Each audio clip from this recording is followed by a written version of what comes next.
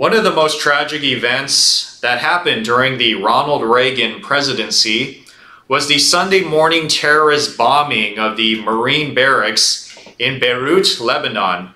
Now, some of you guys might be old enough to remember this event, and maybe a lot of you guys don't know what I'm talking about, but it is a true historical event in which hundreds of Americans were killed or wounded as they slept that day. For many who lived through the 1960s, they remember this terrible scene as the survivors worked to, you know, dig out their trapped brothers from beneath all that rubble. But one of the most inspirational stories about this incident involves a Marine Corps commander named Paul Kelley who visited some of the wounded survivors who were transported to a hospital in Germany. Among them was a corporal named Jeffrey Nashton, who was very damaged in this incident. Nashton had so many tubes running in and out of his body that a witness said that he didn't even look human, but he looked more like a machine. But somehow, by God's grace, he survived. As Commander Kelley came near him, Mr. Nashton, who was struggling to move in his bed, motion for a piece of paper and a pen. And on this, he wrote a brief note and passed it to the commander. And it wasn't a message of despair or anger or questioning or hopelessness, but rather on the slip of paper were these two simple words Semper Fi, which is a saying in Latin of the Marines meaning forever faithful. And with these two simple words, Corporal Nashton spoke for the millions of Americans in that area who have sacrificed their life and limb and you know all these things for their country. Those who have in these two words remained faithful. In fact, the story of devotion and perseverance is a story of many in the military over the many years, which is why we should hold these people in high esteem because of their sacrifice and their integrity. You see, guys, there are many things that are worth fighting for in life. But I would say nothing is more pressing than the issue of persevering in the faith and being faithful to obey the Lord, no matter how difficult the circumstances around us are. Because the world is going to cause us to want to go in a different direction. It's going to want us to complain against God. It's going to want us to abandon the Lord God. It, it's going to want us to live in selfish, sinful, evil, depraved ways. Which is why Jesus so many times told us not to go down that route, not to give up, not to go in the way of danger and condemnation. And this is why the gospel is so, so beautiful. Because in it, we see a reason why we should persevere. We see meaning in life and we see a hope in life. But Jesus says many times that it's not going to be an easy journey. We're going to sacrifice a lot. We're, some of us might even sacrifice our lives but in the end, the Lord God is going to stand with us and we're going to be victorious. And that is the theme of the message we're going to be looking at today in Revelation chapter 14. To sum it up again, Revelation is a book that speaks about the consummation of world history. So it basically talks about how the world is going to end. And it's going to end in a good way because God wins at the end. And in last week's passage, we saw how the false prophet came onto the scene. How this is a religious figure who comes on to help the political figure, the Antichrist, in trying to spread his evil rule all around the world and to get people to worship the Antichrist instead of the Lord God. So it's a very big picture of doom and gloom and sadness and darkness. But in chapter 14, this one that we're going to be looking at today, we see a bright contrast with this picture of this group that did not give in to the Antichrist's way, but they persevered. God is talking about the 144,000 who have not sided with Satan. And this gives us a reason why we need to persevere in the faith, why we need to love God and to obey His commandments, because in the end, no matter what the cost is, the Lord God is going to be with us and He's going to vindicate us, just like He does with these 144,000 in the future. So, this passage reveals two compelling reasons why we are to follow Jesus and persevere in the faith. The first compelling reason to follow Christ is that followers of Jesus are honored. That's the first point. They are saved and they're also honored. Because we think that we're going to lose a lot. We suffer so much shame and disappointed in the eyes of the world and the Antichrist. But if God is the one who's going to honor us, that should be all that matters in life. And we see that in the first five verses together. So if you have your Bibles, open it up. We're going to start looking at the first five verses for point number one. So beginning with verse 1, it says, Then I looked, and behold, the Lamb was standing on Mount Zion, and with him 144,000, having his name and the name of his Father written on their foreheads. So John, the apostle, now shifts in his vision to look at the 144,000. Okay, let's see what's going on with these people. And we see that they have done their evangelism ministry. They have persevered all the way to the end. And it says that the Lamb, Jesus Christ, was standing next to this group on Mount Zion. And this right here, brothers and sisters, is the fulfillment of Old Testament prophecy. In Zechariah chapter 14, that said when Jesus the Messiah comes back, that he's going to stand on that mountain and he's going to stand with his Jewish people whom he has redeemed in the last day. What a wonderful testament to the faithfulness of God to carry out his promises to redeem his elect Israel. And we see here in the picture of the 144,000, those who have survived. They were preserved by God, and now God is going to stand with them. They did not take the mark of the beast. They did not sell their souls to the devil, but it says instead they had the mark of God on their forehead instead, and they were willing to die with the mark of God on their head. Praise the Lord.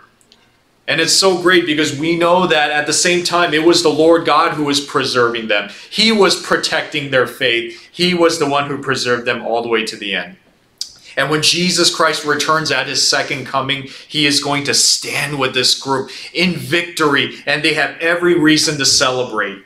This 144,000 Jewish people, the evangelists from all 12 tribes, these are the ones who are going to survive all the way to the end of the tribulation, and they're going to enter with Jesus into his earthly millennial reign as they will have a special place in that kingdom being used by God to continually spread the good word all around the world.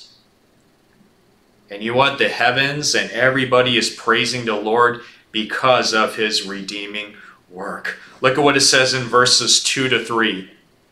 John says, And I heard a voice from heaven, like the sound of many waters and like the sound of loud thunder. And the voice which I heard was like the sound of harpists playing on their harps. And they sang a new song before the throne and before the four living creatures and the elders and no one could learn the song except the 144,000 who had been purchased from the earth. So this praise is also seen in heaven. It says right here that the chorus of praise was happening all over heaven the harp was an instrument of joy. And we see that heaven cheers because they know Jesus Christ is about to carry out his promises. He's going to come back to the world. He's going to get rid of all the evil in the world. And all of heaven is celebrating that Jesus Christ is about to take his place as king over the world. And in fact, they were even singing this really interesting song.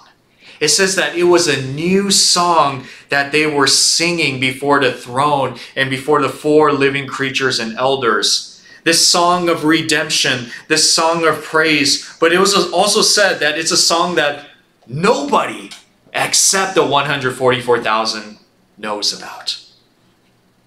Hmm, that's very interesting. Well, of course, unbelievers are not going to sing this song during the tribulation. They're out there singing the song of the Antichrist and his evil ways. But instead, this specific group can sing the song because this song represents redemption. It represents God's goodness. It represents his protection in a special way in this future time. And not only that, look at how faithful these people were too. And I hope this can also be an inspiration to the church, to all of us. It says that these 144,000 have not been defiled with women, for they kept themselves chaste, which means pure. These are the ones who follow the Lamb wherever he goes. These have been purchased from among men as firstfruits to God and to the Lamb. Well, that's a very interesting note because I'm sure a lot of you guys struggle with sin, especially in our world right now. Imagine what it's like in the future when during the tribulation there's going to be so much sexual immorality and so much idolatry. It's going to tempt even believers to stumble into the sin. But the amazing thing about this group of people, the 144,000, is that they have kept themselves pure.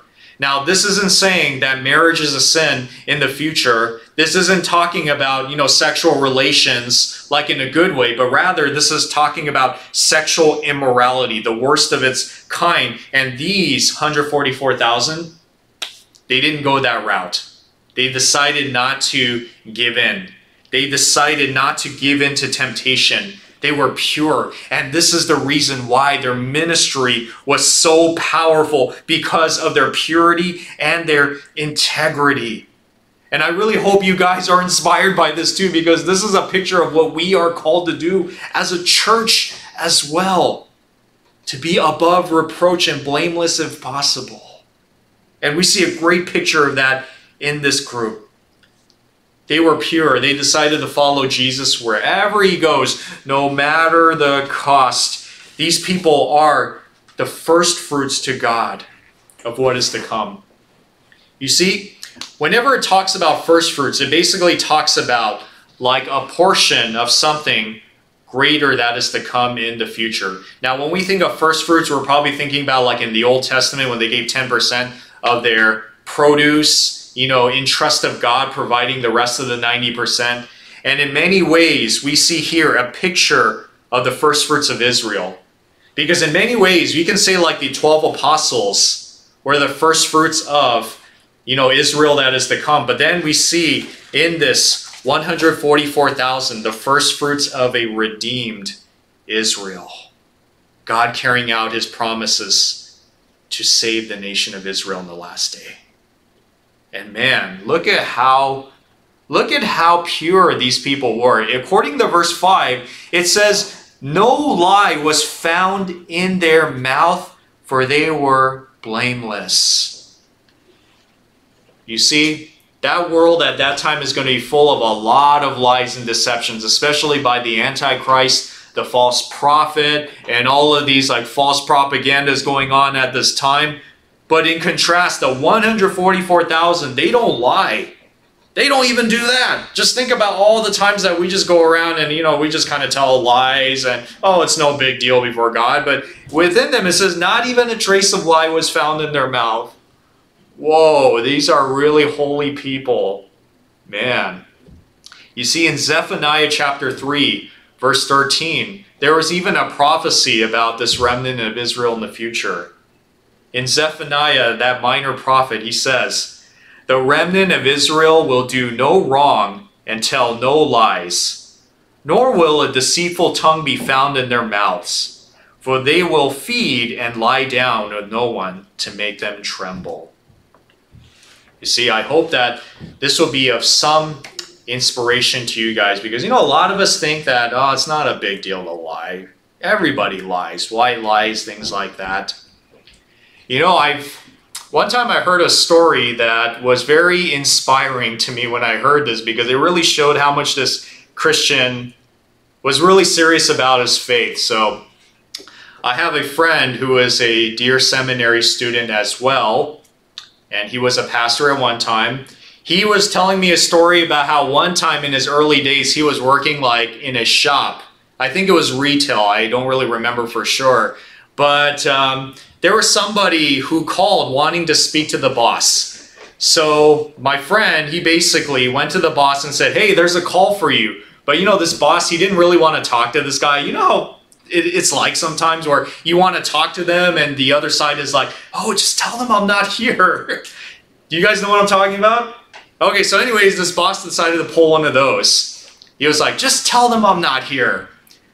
So then my friend was about to go back and he was about to tell him over the phone, but he was thinking in his mind, wait a minute, I can't tell that lie. That's not Christian of me to do that. What kind of example would that be? Not just in terms of my faith, but also to this boss. So he went back to the boss and he said, I'm sorry, but I just can't lie. You know, I can't, I, I have to tell the truth. I can't lie to him.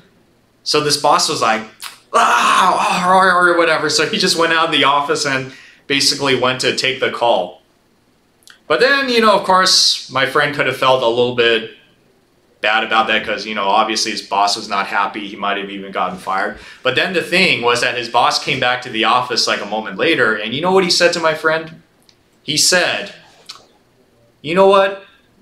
Now that I think about it, we need more people like you in the workforce. You're a man of integrity. You know, in the same way, if he could do that before his boss, how come we can't do that before God?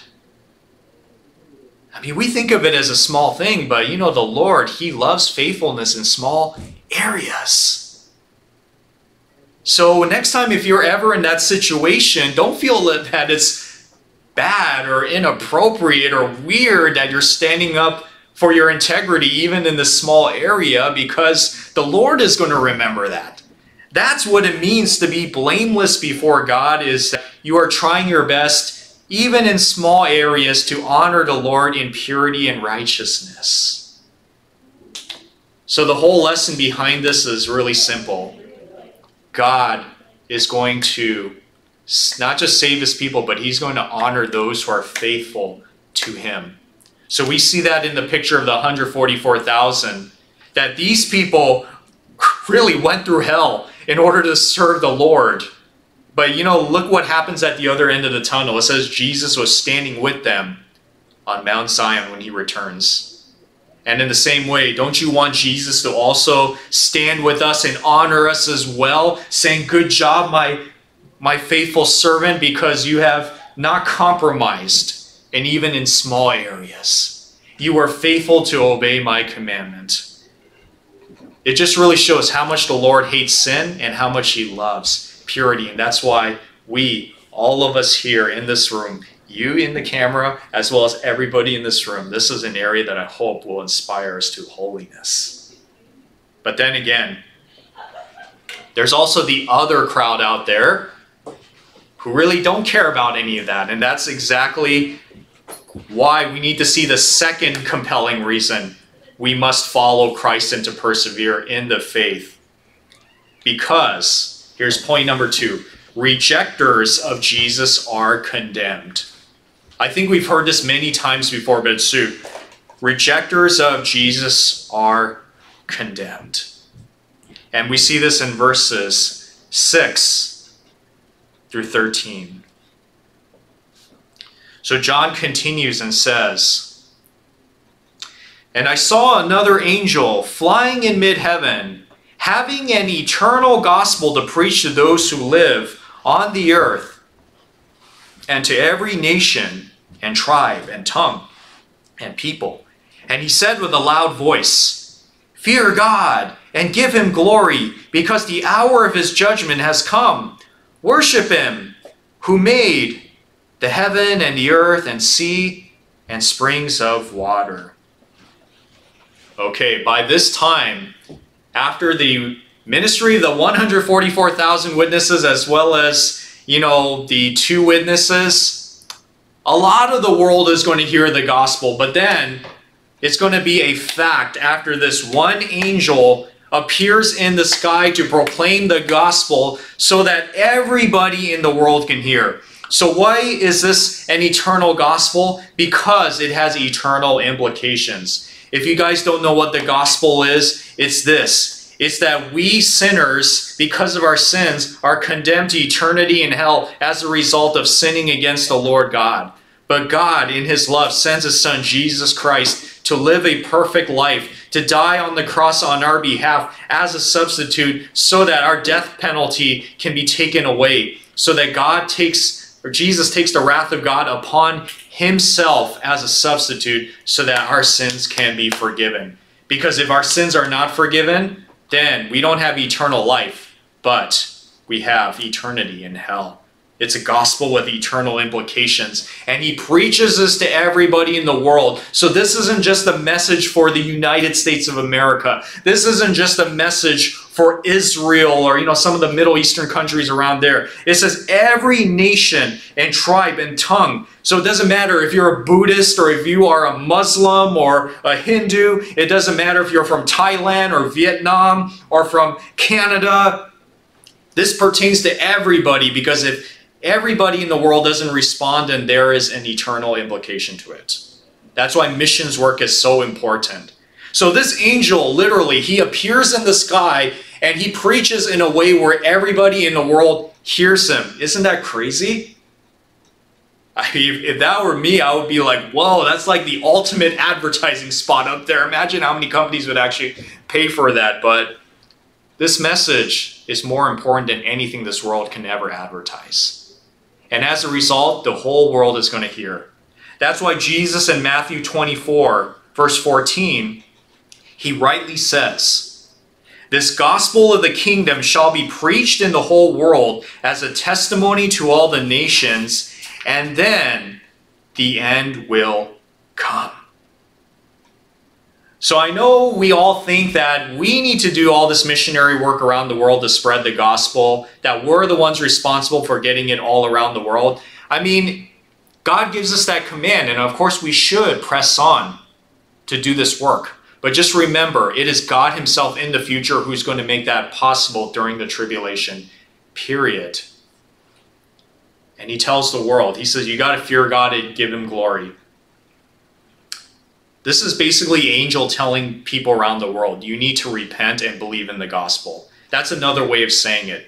Because all of us think that coming to Jesus is basically just believing in him in some intellectual sense, or maybe just accepting Jesus Christ as your Lord and Savior. But a lot of this fear and repentance aspect is always removed from modern day evangelism, which is why this is so important to take in mind. Because coming to faith in Jesus Christ, True faith will involve a fear of the Lord because of your sins, a fear of not just punishment, but also his holiness and giving him glory, meaning we're going to turn our life around and give glory to God and not give glory to another thing in the world. That's what true faith is. That's what repentance is. That's what this angel is telling the world. That's why he doesn't say, You guys got to accept Jesus Christ as your Lord and Savior because he loves you so much. He's telling them, You are going to have to fear the Lord and you're going to have to give him glory, which means you're going to have to repent because of all your evil because the hour of judgment has come, meaning the time is coming now. So before I move on and say anything else, I want to encourage you guys because now that we're talking about it, now that just just came into my mind right now, use this as an example to look at even your own faith to see if you have responded in the same way as well. Because I'm telling you, there's a lot of soft, watered down gospel Christianity out there that does not look anything like what's talked about here. Because true faith, as much as it involves, you know, accepting the love of God and things like that, it also involves, you know, a disgust over sin, a fear of the Lord, and giving Him all glory, which means abandoning worldliness and turning to Christ and following Him. Is that what your faith looks like today? Because if that's not what your faith looks like, and Jesus is still in the back seat of your car, or he's like 10th place in your life, then you do not fear God. You are not giving him glory. And today you need to fix that before it is too late. Don't live in deception. Because if you do, if you get it wrong, Jesus makes it clear many times that in the last days, many will say to him, Lord, Lord. And Jesus will say, I never knew you. Depart from me, you phony. Claiming to be a Christian, but yet you have never truly gotten right with me. It's really a serious message. Because, you know, like in the future, and this is what verse 8 says that even with this angel, when he preaches to everybody, you know what happens? A lot of them don't turn to God. That's why those bowl judgments continue because they didn't repent. And that's extremely sad.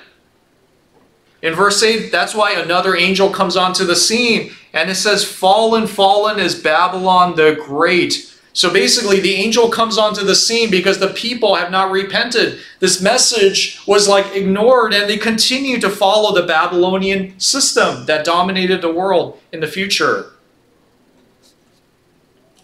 Now, to give you a little bit of a background of what's going on here, because you look at Babylon, you're thinking, what in the world? What, what's all this about? Well, if you remember, Babylon started as this little city in which people build this tower to try to go all the way to the heavens. And this is like a testament to the pride and evil of humanity. And that's why God had to disperse them. But according to many scholars and historians, Babel is where all this false religion in the world came from. So the spirit that was in Babel followed people all around as they dispersed all around the world. And that's how we got these other religions that pop up in other parts of the world like a some this satanic man-centered spirit within it.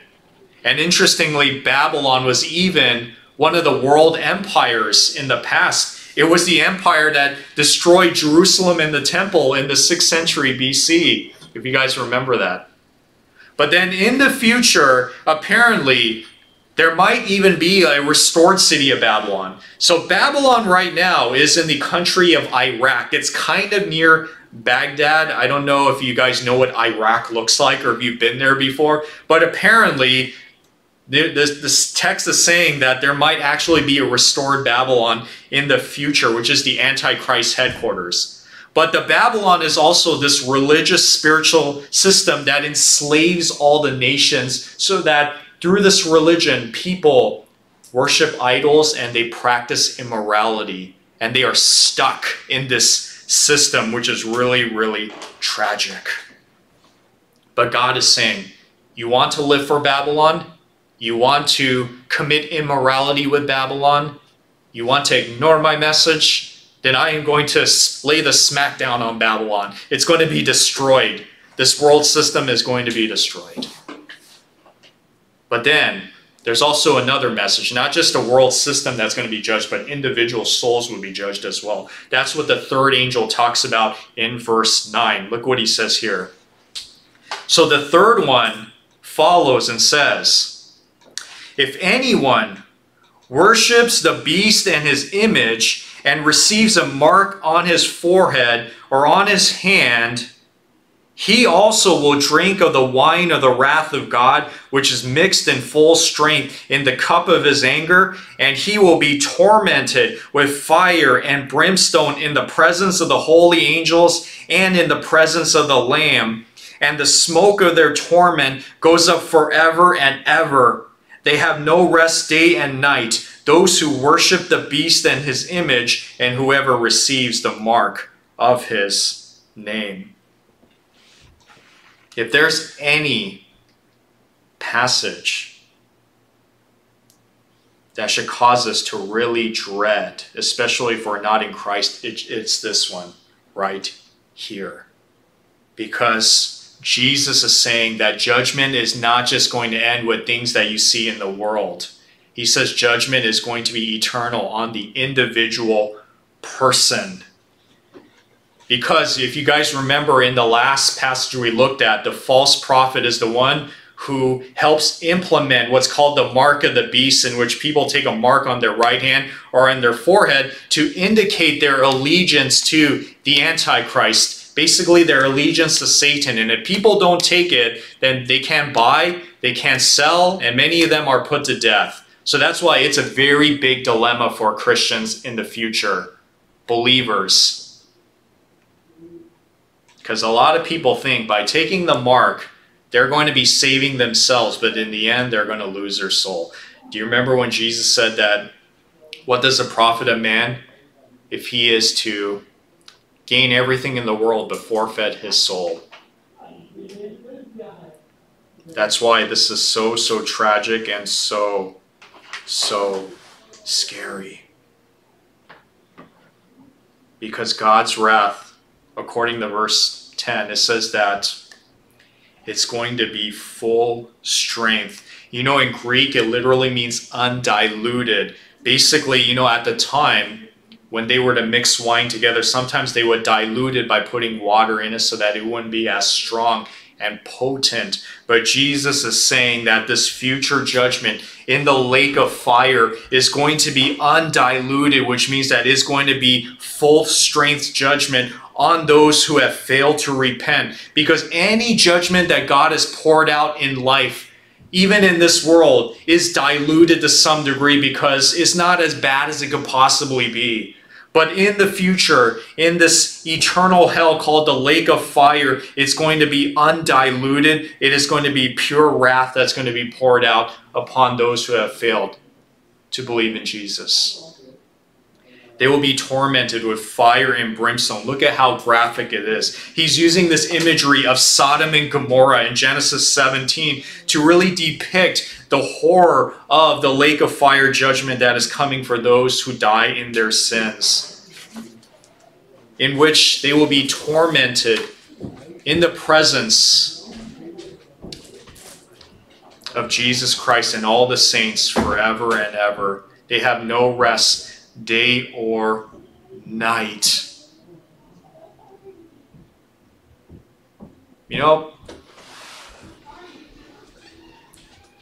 there's a lot of people out there, and because I'm, you know, I'm even thinking about this right now because to me it is very tragic whenever I hear these things.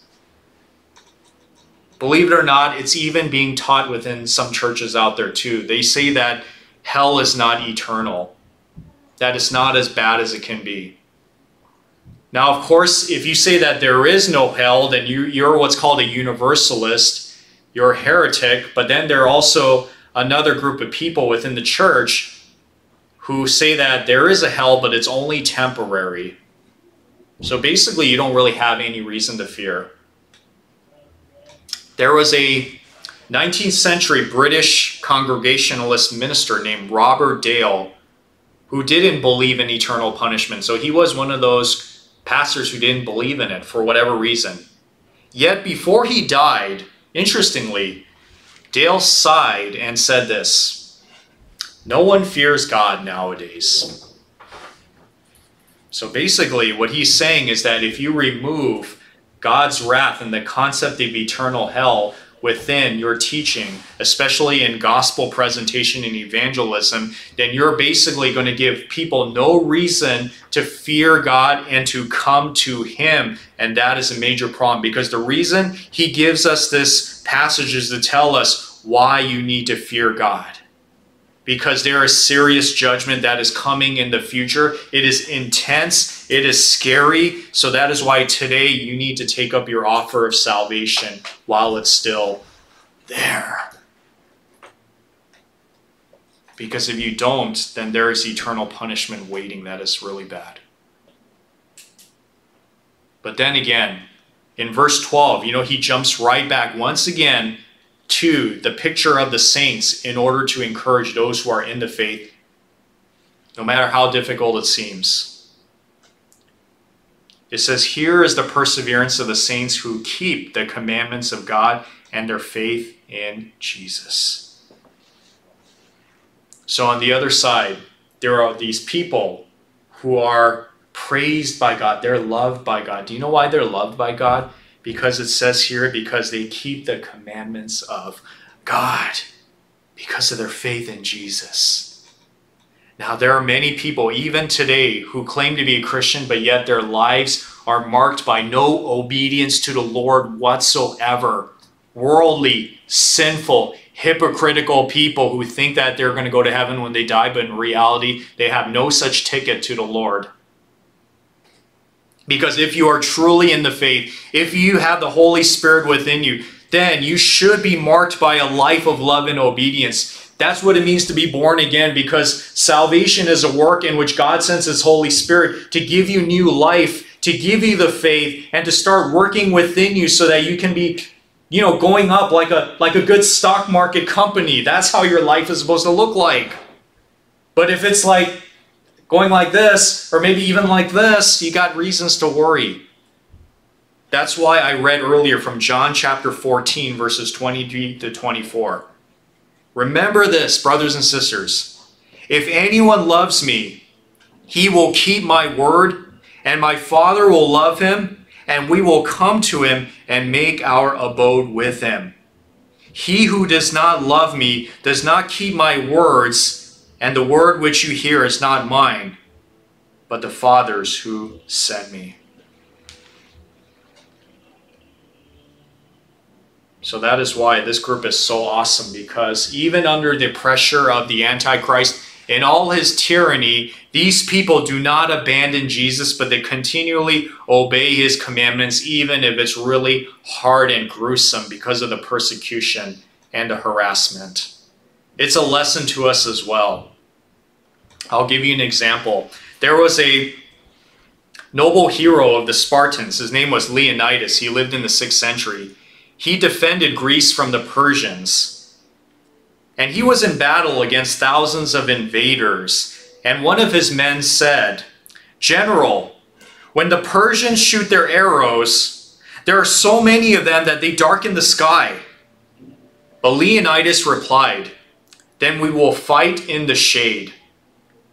So the lesson behind this is simple. We must continue to serve the Lord and fight the good battle, no matter how gloomy and dark our circumstances are in this world. Because, like I said, there is a cost of following Jesus. Even Jesus himself, during his ministry, did not sugarcoat that. Because that's not just a word for future tribulation people. That's a word for us as well. He didn't sugarcoat anything. He says that if you follow me, it's going to be costly. That's what it means to deny yourself, take up your cross, and to follow Him because you're going to give up a lot to follow Jesus. And maybe some of us will even lose our lives. But you know what? God is saying, it's okay. If they take your life, you're not going to lose it. I'm not going to cheer on the enemies right there. In fact, I got your back. That's why he says in the last verse in 13, write this right. Blessed are the dead who die in the Lord from now on. And the Holy Spirit, you know what he says? He says, Yes, so that they may rest from their labors, for their deeds follow with them. So God is saying, if they take your life, it's okay. It's okay because you are going to be blessed. There's two ways you're going to be blessed. First of all, if you die in this world, you're going to have rest you don't have to struggle with all the sins and all the hardships and all the garbage and injustice that you experience in this world. You're going to be okay. You're going to be at rest. But then also, look at what it says here because this one is one of those last words that I really hope you guys listening, whether here at Nah Sung or anywhere else, will remember because this will basically determine your future stance when you are in the kingdom. It says their deeds will follow them. Whatever we do in this world, if it's for God, it's going to follow us to heaven. Because we think that it's all about building our treasures on earth, all about building all this material wealth and all that stuff. But that's why Jesus is saying, build your treasures in heaven because whatever goes there in heaven is not going to get lost. Everything that you do here, whether it's evangelism, whether it's persevering in the faith, whether it's giving your money to missions organizations or churches, you know, whatever that stuff is, he's saying it's good because it's all going to follow you to heaven. It's not going to be lost. It's going to be there. That's the reason why we should persevere. Because especially during the Antichrist future reign, people are going to do whatever they can to build up all their treasures on earth, but then God is saying, don't focus on that. Build up your treasures in heaven because the deeds that you do here, even if the world makes fun of you for it, it's going to follow you all the way to heaven. So, in summation, the victory of the saints and the judgment of the wicked is meant to show us this really simple that God is going to judge. And this is a reason why we should believe in Jesus and to persevere into faith without compromise. So, really, when it comes down to it, there's only really two choices in life either follow Jesus or don't follow Jesus. Because today, we don't have an Antichrist with us right now. We don't have the tremendous pressure. So, I hope this is going to give you some motivation to get right with God today. He's not asking for your money.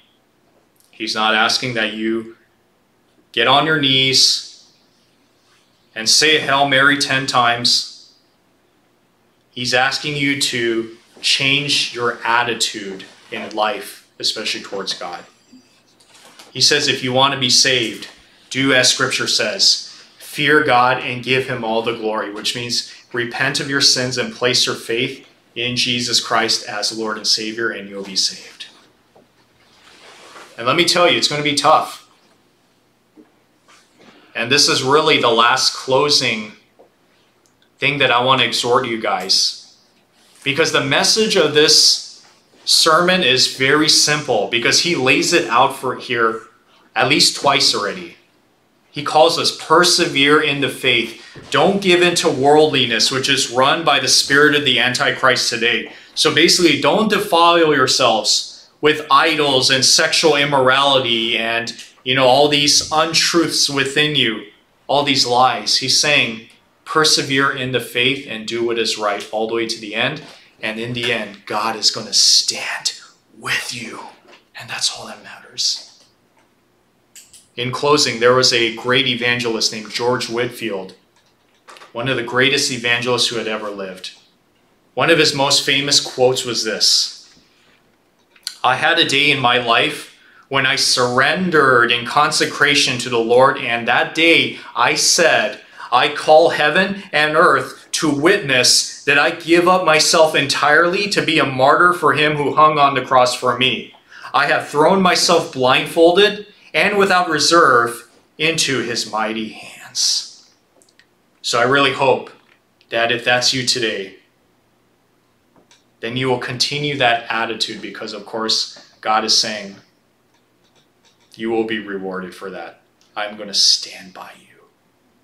So today, especially if you have not done that, do that today. Give your life to the Lord in its fullest, and the end is going to be so, so beautiful. Let's pray.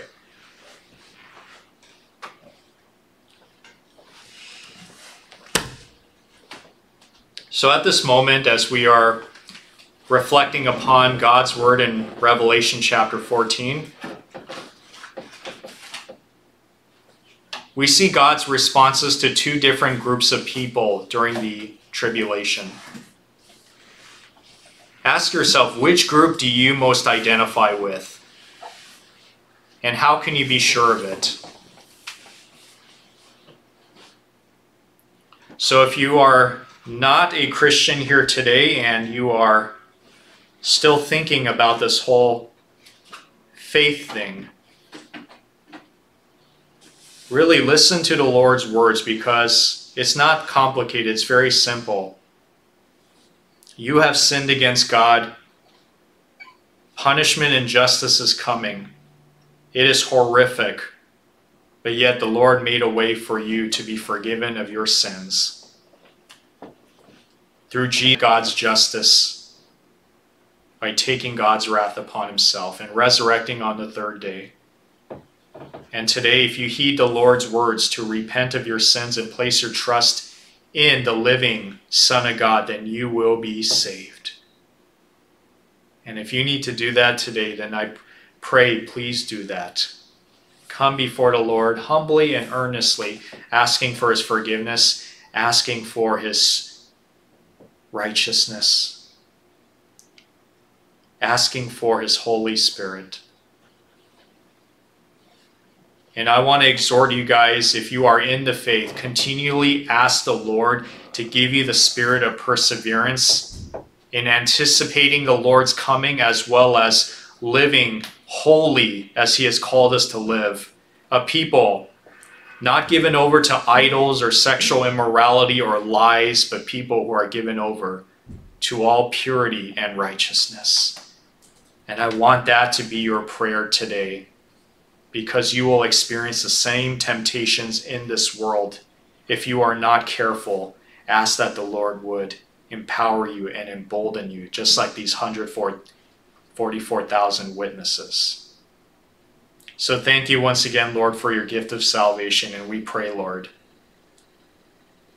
that our songs that we sing unto you will be the cry from our heart, indicating our thankfulness and our willingness to die for you. And all this we lift up in your Son's name. Amen.